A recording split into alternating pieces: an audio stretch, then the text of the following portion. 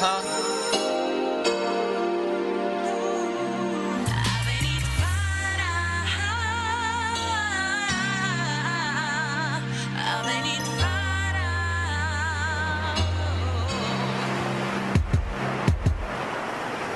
Doamnelor și domnilor, eu vă propun însă o probă de îndemânare în uh, momentele următoare. De ce nu poate chiar un sport uh, peste câțiva ani uh, acreditat? Momentan este doar la stadiu de fan, de distracție, dar nu chiar distracție așa cum uh, poate vă imaginați dumneavoastră, fiindcă este una destul de bine pusă la punct. Îl avem în platou pe Sorin Mila. Bine venit, Sorin! Bună dimineața și vă mulțumesc frumos pentru invitația. Da, faci ceva extrem de interesant. Spune-ne despre ce este vorba. De fapt, uh, sportul a apărut uh, în urmă cu vreo 30 de ani în Statele Unite. Se numește sport stacking, se practică cu speed stacks. Sunt uh, niște pahare sportive, așa cum le-am adoptat eu în România traducerea.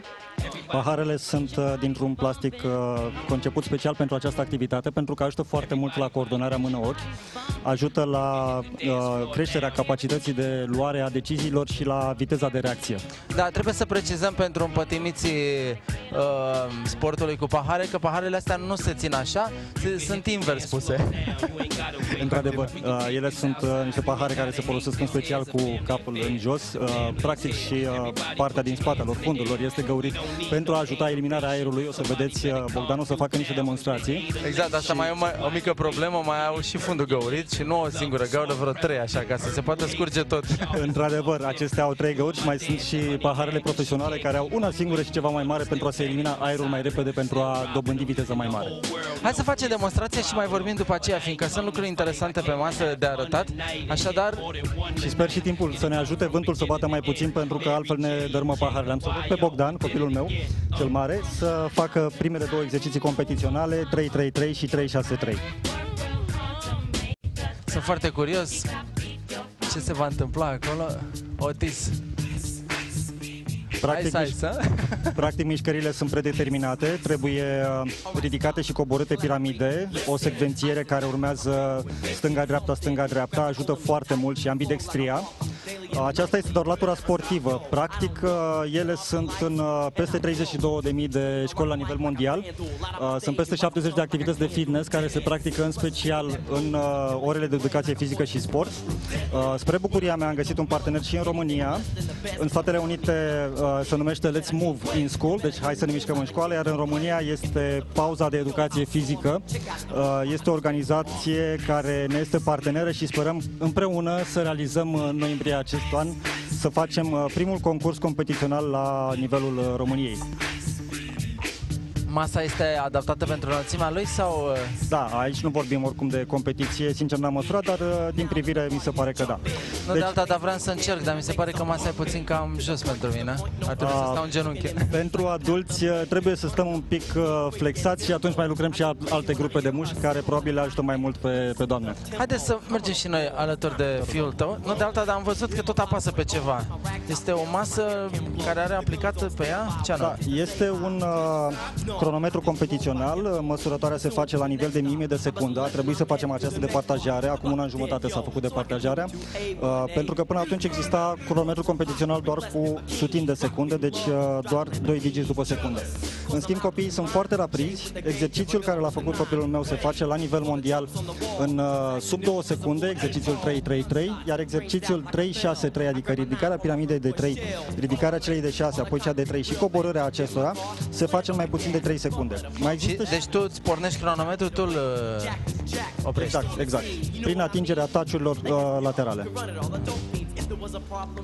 Și Mai aveți paharele albastre care sunt pentru sucul Sunt la fel, doar acidulat? că sunt uh, alte culoare, sunt pentru suc acidulat și nu pentru șampanie.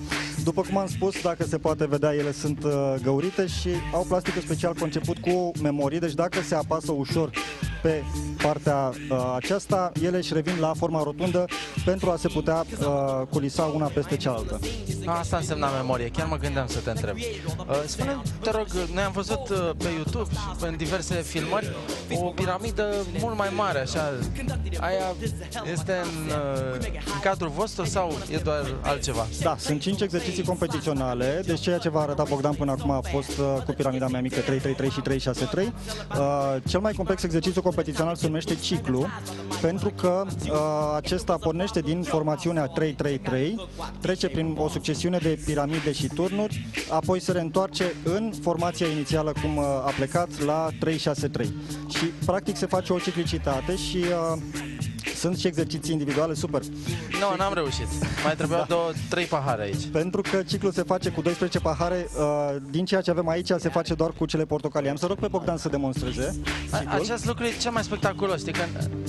A, tocmai da. vreau să-ți arăt uh, Te rog. ce făcea mie plăcere. și anume, știi, când strânge așa... Ah, n-am reușit. Nici o problemă. O să o facă Bogdan. Bogdan, te rog, arată-ne ce mai vrei tu. Da. Uh, Ce a va spus? uh, demonstra exercițiul ciclu.